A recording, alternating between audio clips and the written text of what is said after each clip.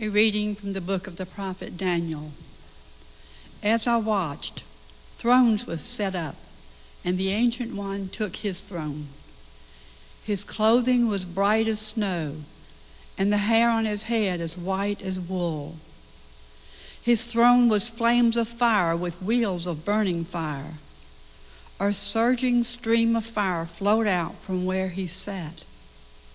Thousands upon thousands were ministering to him, and myriads upon myriads attended him. The court was convened and the books were opened. As the visions during the night continued, I saw one like a son of man coming on the clouds of heaven. When he reached the Ancient One and was presented before him, the one like a son of man received dominion, glory, and kingship. All peoples, nations, and languages serve him. His dominion is an everlasting dominion that shall not be taken away. His kingship shall not be destroyed. The word of the Lord. Thanks be to God. The responsorial psalm The Lord is King, the Most High over all the earth. The Lord is King, the Most High over all the earth. The Lord is King, let the earth rejoice. Let the many islands be glad. Clouds and darkness are round about him. Justice and judgment are the foundation of his throne. The Lord is King, the Most High over all the earth. The mountains shall melt like wax before the Lord, before the Lord of all the earth. The heavens proclaim his justice, and all peoples see his glory. The Lord is King, the Most High over all the earth. Because you, O Lord, are the Most High over all the earth, exalted far above all gods. The Lord is King, the Most High over all the earth.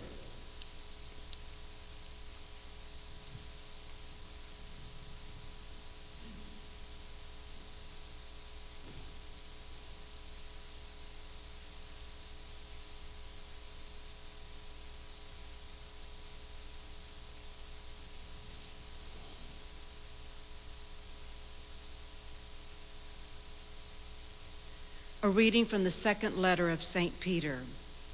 Beloved, we did not follow cleverly devised myths when we made known to you the power and coming of our Lord Jesus Christ. But we had been eyewitnesses of his majesty, for he received honor and glory from God the Father when that unique declaration came to him from the majestic glory. This is my Son, my beloved, with whom I am well pleased. We ourselves heard this voice come from heaven while we were with him on the holy mountain. Moreover, we possess the prophetic message that is altogether reliable. You will do well to be attentive to it as to a lamp shining in a dark place until day dawns and the morning star rises in your hearts. The word of the Lord. Thanks be to God.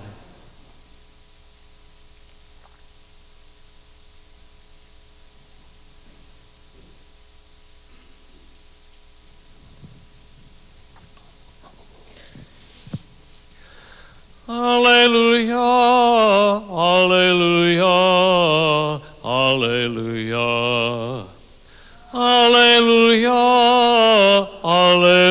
Alleluia, Alleluia.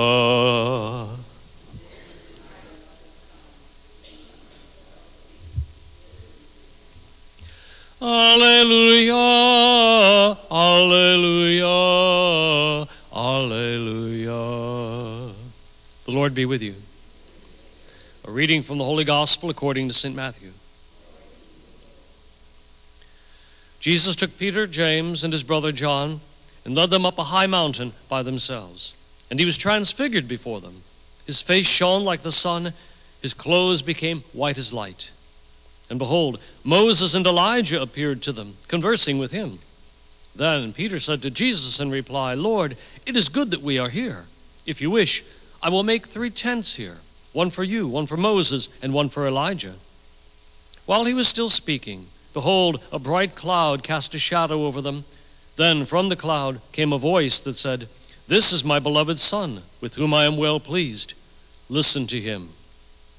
When the disciples heard this, they fell prostrate and were very much afraid. But Jesus came and touched them, saying, Rise, do not be afraid. And when the disciples raised their eyes, they saw no one else but Jesus alone. As they were coming down from the mountain, Jesus charged them, Do not tell the vision to anyone until the Son of Man has been raised from the dead. The Gospel of the Lord.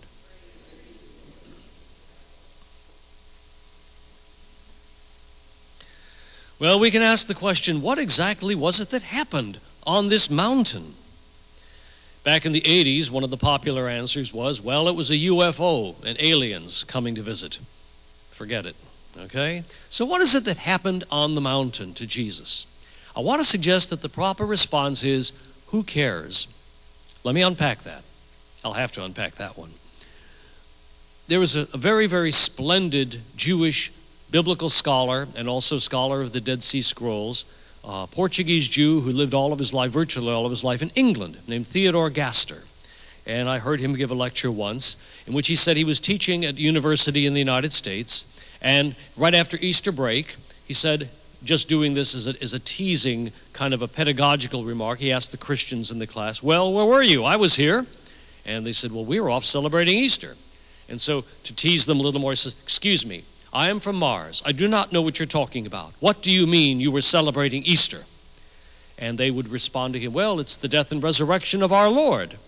And he would respond to them, Keep your nose out of other people's private biographies and then they would lose it. And he would say to them, You are not celebrating the resurrection of the Lord.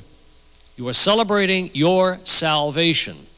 If it has nothing to do with touching you and your life, it doesn't make any difference. Okay, so in that sense, I want to unpack the transfiguration because it is a promise to us, and that's why it matters. It's a promise to us. Now let's look at the word transfiguration. The Greek word is metamorphosis.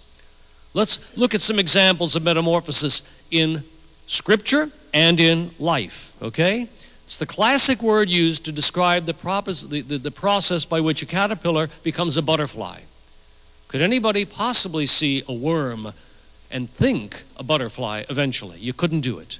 St. Paul talks about the same kind of thing in 1 Corinthians, where he says, here's what it's like. Here's what it's like it's sown in the ground as a seed, it grows up as a plant, a beautiful plant. Who could ever figure from a bulb that you could get a tulip? It wouldn't make sense to look at it and figure you could do that. And so Paul says, similarly, the body sown in the ground, so to speak, is a natural or physical body. It will be raised as a glorified body that reflects the glory of Jesus Christ which is what the disciples see for a brief moment on the mountain. For a brief moment on the mountain. In, in uh, The Great Divorce, C.S. Lewis talks about a young man who's tormented by sensual issues, and it's symbolized in the story by this nasty little red lizard dug into his shoulder, okay? The thing is finally killed and transformed into this glorious white stallion. Beautiful thing. And the commentary that is made then is what is lust, after all, compared with the great joy and beauty and, and longing for God that desire can symbolize? Just like the nastiness of a little lizard compared to a glorious white stallion. That's the transformation that we're looking for for ourselves. How many of us long to be transfigured, metamorphosed in that sense? And the glory that was seen in the face of Jesus is the glory that is promised to us. St. Paul is very strong on that in 2 Corinthians, which was the scripture reading we had for the office of readings today in the breviary. So today we can celebrate the promise of glory that we can have in Jesus Christ.